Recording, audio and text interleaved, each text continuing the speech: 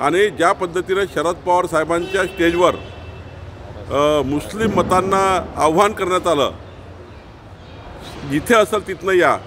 कबरेत असेल तर कबरेतनं या. मोदीजीला हरवा आणि कसबा हे त्या ठिकाणी हे अत्यंत महत्त्वाचं केंद्र आहे. उपोषण केलेलं आहे. आणि त्यांचं म्हणणं आहे की मतांसाठी पैशाचा वापर होतो. आणि सत्तेचा दुरुपयोग केला जातो. सत्तेचा दुरुप- दुरुपयोग आणि पैशांचा उपयोग मतांसाठी केला जातो. मी पूर्णवेळ कसबा विधानसभा आणि चिंचवडमध्ये होतो मागच्या सात दिवसापासनं.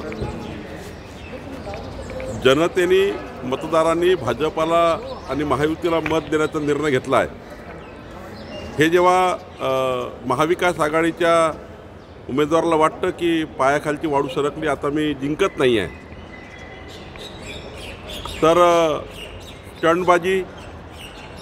सहानुभूती मिळवणे याकरता हा प्रकार आहे. काल पाच वाजल्यानंतर जेव्हा प्रचार बंद होतो त्यानंतर मात्र अशा स्टंटबाजी करणे आणि या पद्धतीने आजही प्रचार सुरू ठेवणे याकरता केलेलं हे कारस्थान आहे.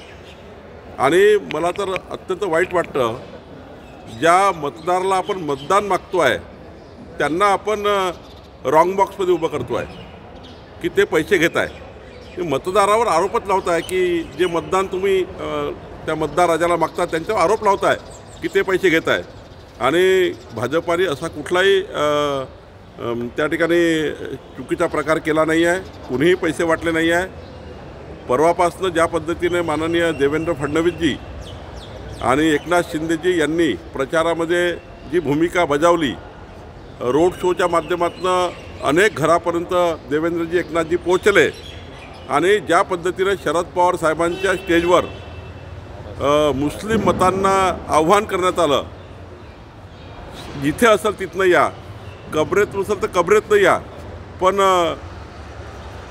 या ठिकाणी कसब्यामध्ये मतदान करा.